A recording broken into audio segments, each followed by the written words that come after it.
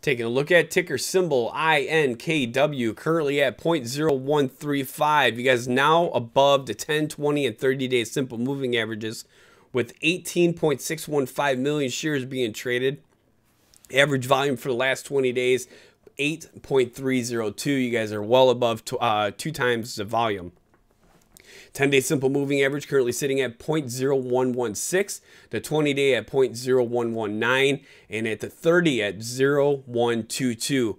Uh, so obviously looking at that uh, price per share right now, 0.135. You guys are above the 10, 20, and 30 day simple moving averages. I started looking at this one here uh, a few seconds ago, and we can see this channel now that I backed out of the chart a little bit see this channel right here bringing it down running it back up bringing it down running it back up bringing it all the way back down hitting that blue line right there that support level and then bringing it all down here and now getting above that bottom that bottom channel level right there at that point zero uh point zero one 0.35. Now I do have other resistance levels that I did put in here before. Uh, looks like uh, like the next one above here is going to be at 0.0150 with some solid support underneath there around that 20 day simple moving average, uh, 30 day simple moving average right there at that 0.0122. So I'm going to be looking for that to hold. And uh, like I said, that volume starting to come back in. As long as that volume continues, I think that this one could be definitely setting up here for INKW. If you guys are new here, make sure you stop by and check out investorshangout.com.